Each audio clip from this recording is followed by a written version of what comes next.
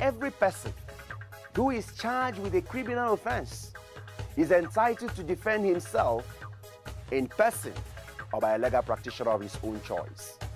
Remember that an individual is entitled to remain silent.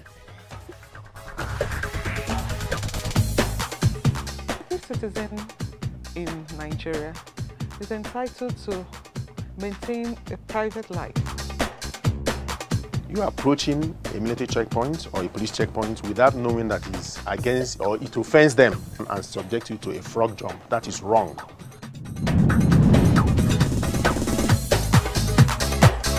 Hello, everyone, and welcome to another fresh episode of the program Justify Nigeria on ACNN television, reaching from Abuja. On today's episode of the program, we are going to be looking at legal view on EndSARS protest. My name is Anozi Chinomso. It is a common knowledge that the work of security agencies anywhere in the world is to protect lives of citizens and their properties. The mere fact that the Nigerian police force is one of the security agencies we have in Nigeria make them to be in the forefront of not only protecting the lives and properties of citizens, but also keep and uphold the letters of the Constitution. However, this assertion seems not to be true towards Nigerian police because of the rate of brutality a particular unit called Special Anti-Robbery Squad, popularly known as SARS, has been inflicted on innocent Nigerian citizens.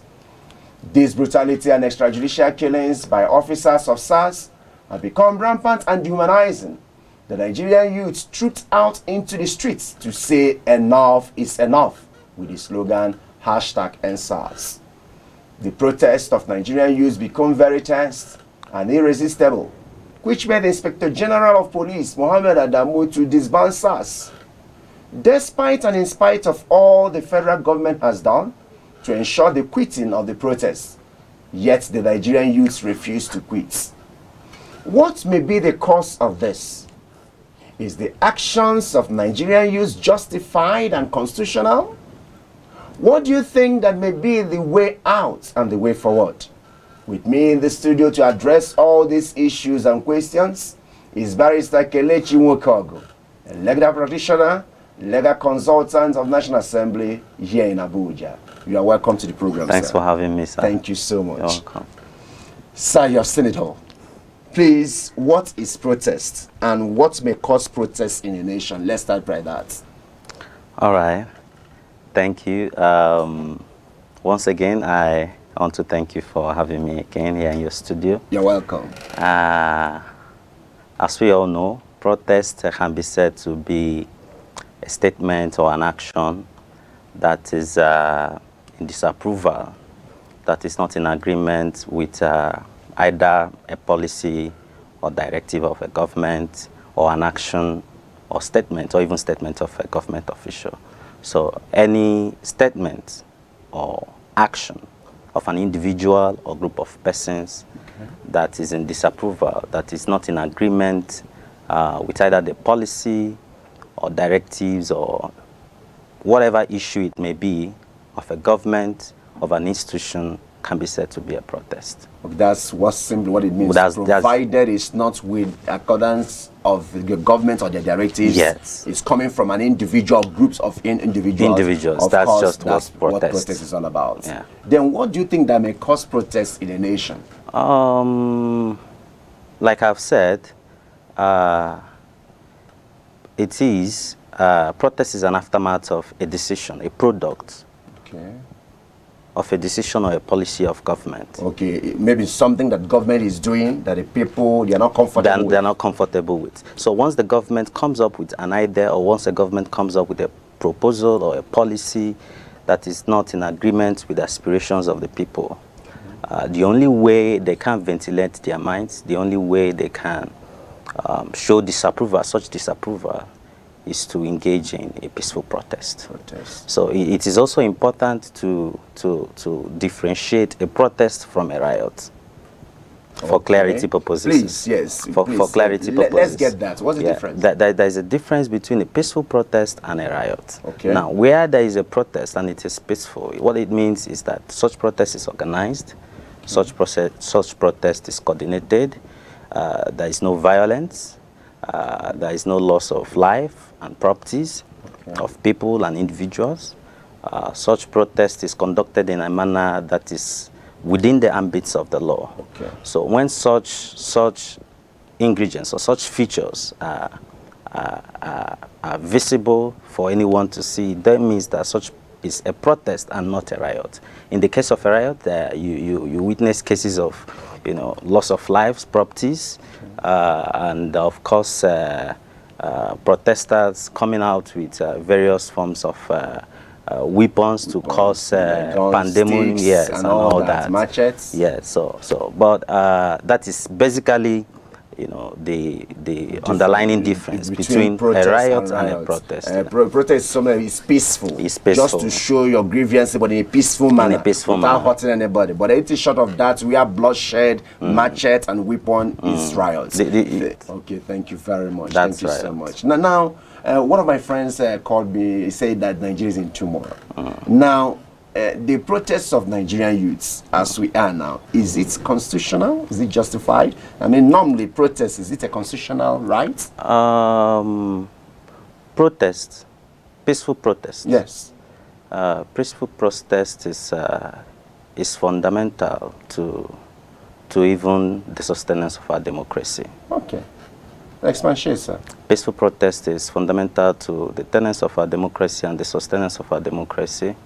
Uh, it is an appendage, it can be said to be an appendage to the fundamental right to expression and that of press, and also uh, the fundamental right to peaceful assembly Yeah. and association of uh, persons.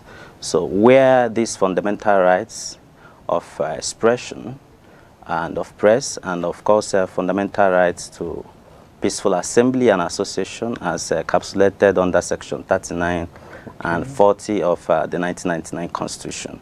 So where, where, where there is an infringement on the right to peaceful protest, Okay. it's also, also, it is also of adverse effect on the fundamental rights as guaranteed and provided by the Constitution of the Federal Republic of Nigeria. So simply put, is is is the is the youth is the right of the Nigerian youth it's, what they are it's, doing? it's, it's the right. It's their basic right. It's fundamental to, to, to whatever we are doing, to whatever we are building as a nation. People must at all times be allowed to express whatever grievances and also to Okay. ventilate and mold opinions. It is the contemplation of our constitution. It is a vested fundamental right of persons. And uh, I think uh, it, will be, it will only be right for government and uh, leaders, people in authority to uh, try as much as possible, you know, to protect and give life to these uh, fundamental rights as enshrined in the Constitution. Okay, um, Femi Falana, SAN, Senior Advocate of Nigeria, said that Yes. um, in fact that protesters should be given security to secure them as they are protesting. Do you agree with that? The- yeah, of course, of course. It is, it is the duty of Giving them the say- yes, the duty of the it is- state it is to the provide security for yeah, them. It is the duty of the state. It is the duty of the state. The, the primary objective of setting up every government is to protect lives and property.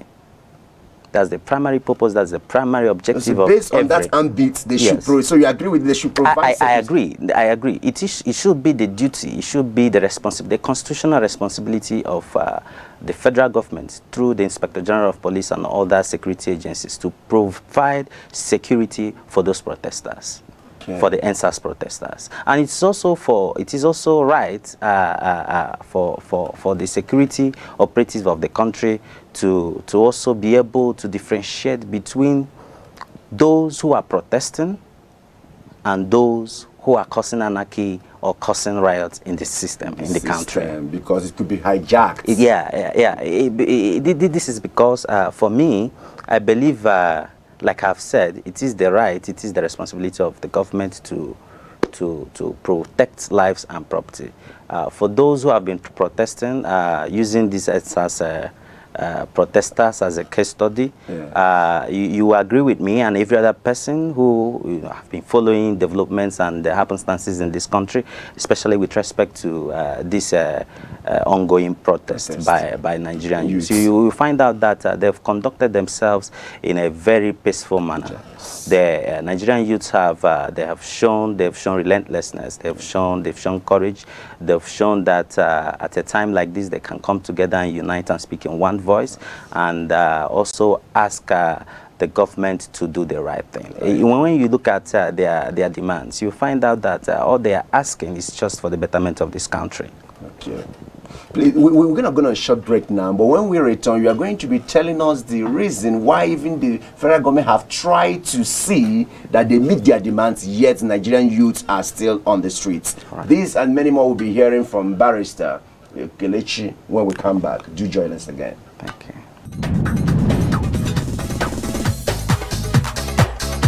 Hi, you are welcome to the speaker on ACNN television reaching you from Abuja.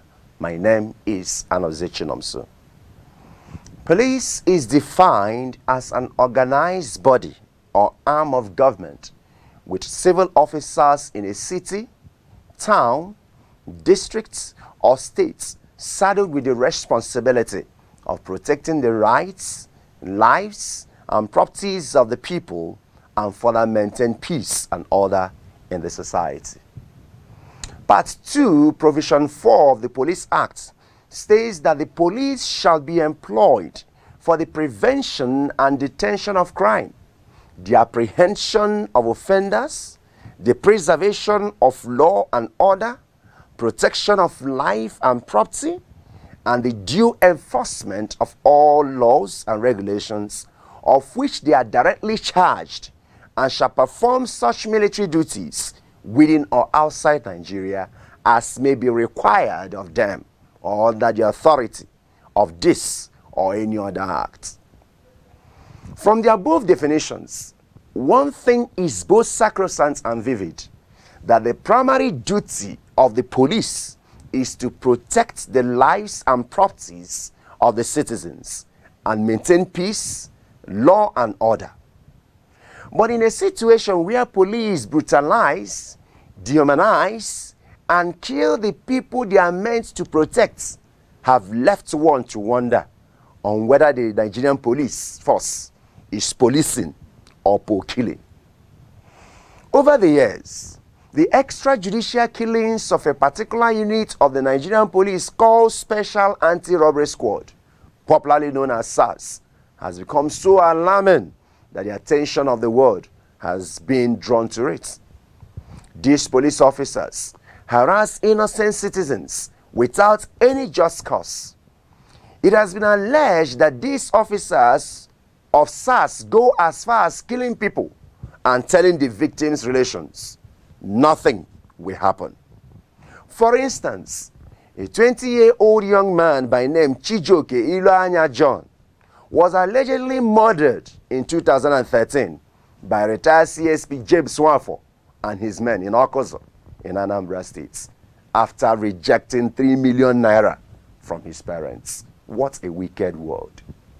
Just recently, one Treasure Ndoka narrated how she was beaten mercilessly and dehumanized by more than 10 policemen for doing absolutely nothing. Mrs. Ngozi Iluamozo lost her husband to SARS. A 17-year-old girl by name Tina Ezekwe was gunned down by policemen just for standing in a bus stop. Kolade Johnson was killed in a football watching center. Tiamiyu Kazeem was a young football rising star that was pushed out of moving SARS vehicle. Ayomide Taiwo was killed because he refused to give a 50 naira bribe to police officers. A 28-year-old graduate of Institute of Management and Technology, Enugu, by name Ifeoma Abugu, was raped and murdered in police detention few weeks to her wedding. The question I'm asking in all this is where the police not bringing the perpetrators of this crime to book so that the souls of the victims will rest in peace and their relation in turn get justice? Rather, the police and indeed other security agencies will fold their arms and do absolutely nothing. Little wonder these officers keep on saying, nothing will happen even if I shoot you. And indeed, nothing happens. It was based on these atrocities and man's inhumanity to fellow man, perpetrated by SARS officers, that Nigerian youths all over the world said, enough is enough and trooped out of the streets on protest with the slogan hashtag EndSARS. Based on this protest by the Nigerian youths, the Inspector General of Police, Mohammed Adamu, disbanded SARS and replaced it with SWAT. what a super story. What a joke. And what a shame. Is there any difference between SARS and SWAT? Anybody who believes that there is a difference between the two will not only be deceiving himself or herself, but also be swimming in the ocean of illusion. Maybe we need to remind Inspector General of Police, Mohammed Adamu, that bird of a feather will always flock together. We need to remind him that a person that sold his dog and bought monkey still has squatting animal in his house. We need to remind him that the problem at hand will not be solved by merely changing of the name and nomenclature of SARS to SWAT. I therefore speak that until the government of Nigeria rise up to reform, overhaul, totally sanitize the entire system of Nigerian police, and bring the perpetrators of these extrajudicial killings to justice, compensate the victims' families, meet the demands of these protesters, and finally restore confidence of police, not only to Nigerian youths, but indeed all Nigerians. Our country will continue to produce police officers who will not be policing, but po killing innocent citizens of Nigeria. My name is Anozi Chinomso. I just want to speak.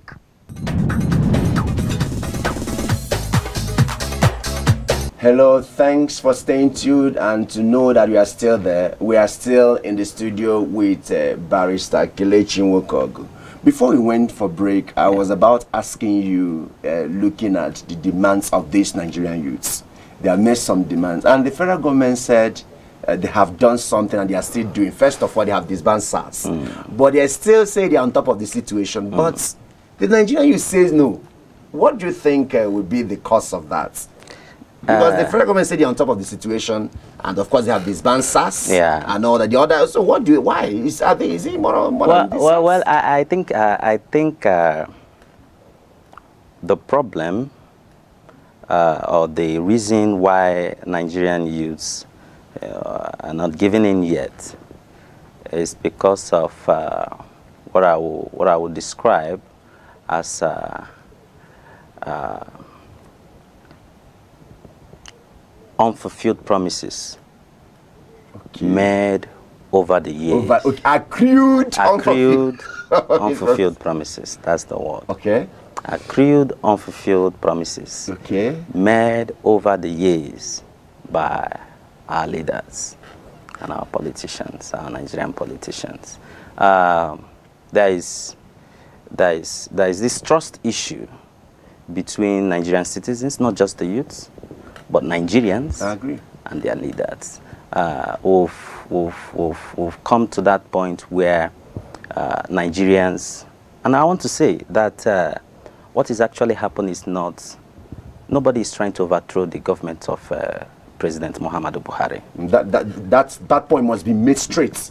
No, yes. no, nobody, nobody, nobody is trying to overthrow the government of President Muhammadu Buhari. Okay. Uh, but I think uh, what the youths uh, are trying to do or have done so far is, uh, is a signal, it's, is, a, is an expression of, uh, of uh, disapproval, uh, is an expression of uh, uh, discontentment and uh, uh, uh, tiredness of uh, unfulfilled promises made uh, by leaders over these years. We've been in a country where uh, if a president wants to contest an election, for instance, uh, you come to the people and tell them that you're going to make Every this work. would- um, this one. Yeah, you are going to you are going to provide uh, uh, a good healthcare system. You are going to make education accessible. Uh, you can make it uh, uh, make it also uh, uh, uh, qualitative. You do this, you do that, and at the end, uh, none of these promises come to light. Yes. So Nigerians are tired. We want to see our leaders take steps, take practical steps towards solving our problems. Okay.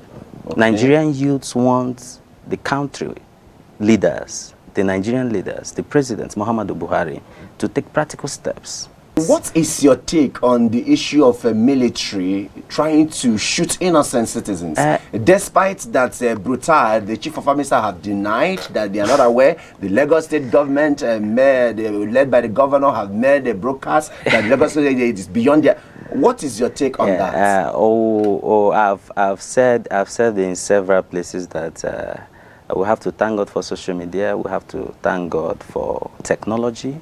Uh, it's now easier for, for dissemination of information and to know the truth. and to know the truth. It comes up, it exposes, you know, what ordinarily could be done in the hidden. Uh, ordinarily, uh, if we had not seen videos, if we had not seen pictures of uh, live uh, uh, attack on uh, the peaceful protesters, EndSARS protesters at Lekki Toll Gate uh, uh, by the Nigerian army, would have been wondering, you know, where this news, where, where the news is coming from. But these are things happening in the country, and for the for the for the chief of army staff to come and say that. Uh, The army is the, not the aware. army is not aware that uh, whatever that is going on is, is fake. The information passing that the, the members of the Nigerian army shot at unarmed protesters that are all fake. Uh, it's it's it, he, he- he's only trying to you know play on the sensibility of Nigerians. And it's an insult And it's an on our collective on- on- responsibility and on- intelligence yes, as a nation. As a nation. Yes. So uh, which which demands outright condemnation. It should be condemned. You know, thi- this is a country that should ordinarily should be governed uh, in truth and uh, upholding the tenets of law, rule of law, and of course uh, the tenets of democracy. And of course, unfortunately, uh, we are not having that. It's quite unfortunate. these protesters, some of them have lost their husband, their wives, and all. do they have any remedy in law? Uh, uh, you know, uh, just yesterday, uh, the the the speaker of House of the House of Representatives. Yes, Femi yeah, Femi Yeah. Made a statement uh, during uh, uh, The the, plenary. plenary, that uh, that he's not going to uh, sign any budget, any 2021 budget that does not capture uh, compensation for uh, victims of uh, EndSARS uh, Protest. protest. So uh, for me, I, I take it as uh, I, I take it as uh, as uh, as uh, a mark of responsibility on the part of uh, uh, uh, the leaders and members of the. uh, But don't be fast to comment. Let it not be one of their crew yes, promises. ah, promises, yes. But, You but, but, but about. yeah, yes, I, I've said, I've said about it. But uh, this time around, I believe uh, they, they have to, they've landed, they've seen, they've seen, they've seen that the people, uh, a, a united people can beat any, you know, any, any army in the world. Uh, with what has happened, with what has happened, and uh, with what I believe uh, uh, happenstances in the near future, uh, Nigerian leaders, Nigerian leaders ought to know that uh, it's it's no more, it's no more, it's no more business as usual for them. The people, you know, consciousness, political consciousness, have uh, uh, tremendously risen, Yes. and uh, it's it's it's also good for our country's uh, democracy. It's it's good for it's, it's good for. Uh, it's good for the development of the nation because the more people are aware, the more people are conscious of uh, uh, the, the the happenings in the, in the in the political environment they find themselves, and uh, try as much as possible to get involved. Uh, I believe uh, some of these incidences, uh, unfortunate incidences we've been recording, uh, will, will be brought to barest minimum. Thank you very much, Barrister Kelechi Nwokogu. Now, when you look at uh, um, views of some of the stakeholders in the nation, lawyers like you and judges, and of course, I was listening to former Human Rights Chairman uh, Professor Odinkalu. Most of them are advocating for um, a community or state policing that might help. Yeah. Uh, what's your view and your take on state policing? Um, don't you think that even if you grant that, that the state governor will still be doing what the federal is doing, despite that uh, we see that uh, some of the southwest, most of them have created what they call Amotekun sometime. Yeah. And uh, what's your take on that uh, police, uh, uh, state policing or yeah. community policing? Uh, you know, uh, when when you when you also look at uh, the demands of uh, these EndSARS protesters, yes. you find out that uh, for some of for some persons who are saying that uh, uh, the the the special anti-robbery squad has been disbanded Yes. by as a result of the protest by Nigerian youth by the federal government in response to their demands. Uh, it is not just the disbandment of the special anti-robbery squad that the youths of Nigeria are asking for.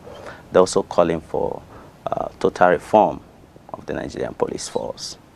Uh, you agree with me also that uh, the current, as constituted as it is, the current uh, uh, Nigerian police force is a product uh, of uh, British uh, colonial authority.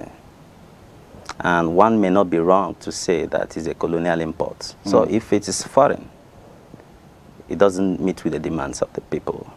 So in few minutes' time, are you saying that you support the state my my Yeah, my, take my, on my, my take my take on that is Yes. that uh, the state and community community policing Yeah. should be given the force of the law. It should be given the force of the law, uh, so that people will be allowed to be part of uh, uh, their security system, the security system of the nation. Won't the governors hijack it? It has not been good either the way it is. Is. It has not been good either the way it is. But you, you also know that uh, uh, the police is in the exclusive uh, legislative list as captured uh, in the Constitution, of the Federal Republic of Nigeria. So uh, most uh, state assemblies doesn't have authority to make legislations, you know, that will have effects with regards to uh, the police as an institution in Nigeria, except the National Assembly. Thank you very much. In one word, what's your last advice to the youth? Uh, uh, my Especially these protesters. My my Yes. my What are you my, them? my my words for Nigerian youth is to remain uh, to remain focused, to to to remain relentless.